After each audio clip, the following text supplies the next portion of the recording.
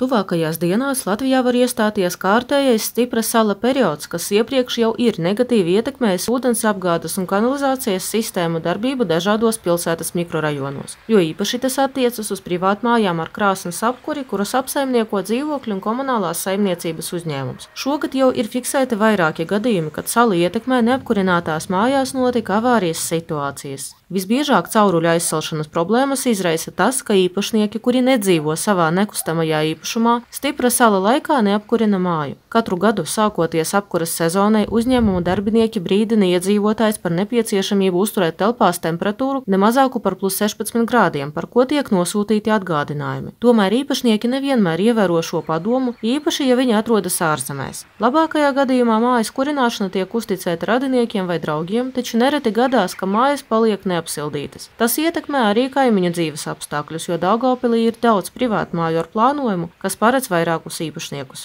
Diemžēl elektriskos radiatorus arī nevar uzskatīt par alternatīvu dzīvojamās telpas pilnvērtīgai apsildīšanai. Dzīvokļu un komunālās saimniecības uzņēmums atgādina, ka cauruļu sasilšanas gadījumā visas remonta izmaksas sedz nekustamā īpašuma īpašnieks. Turklāt šādas avārijas rada lielus ūdens zaudējumus, kas pēc tam tiek iekļauti rēķinā kā neuzskaitītais ūdens. Sižetu sagatavoja Daugavpils pilsētas domes sabiedrisko attiecību un mārketinga nodeļa.